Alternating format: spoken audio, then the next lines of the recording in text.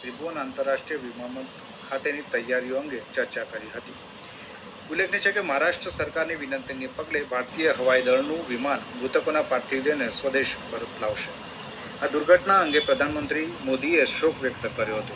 શ્રી મોદીએ પ્રધાનમંત્રી રાષ્ટ્રીય રાહત ભંડોળમાંથી મૃતકોના નજીકના સગાને બે લાખ રૂપિયા અને ઇજાગ્રસ્તોને પચાસ હજાર રૂપિયાના વળતરની જાહેરાત કરી છે. વાણિજ્ય અને ઉદ્યોગ મંત્રી પિયુષ ગોયલે આજે જણાવ્યું હતું કે સૂક્ષ્મ, લઘુ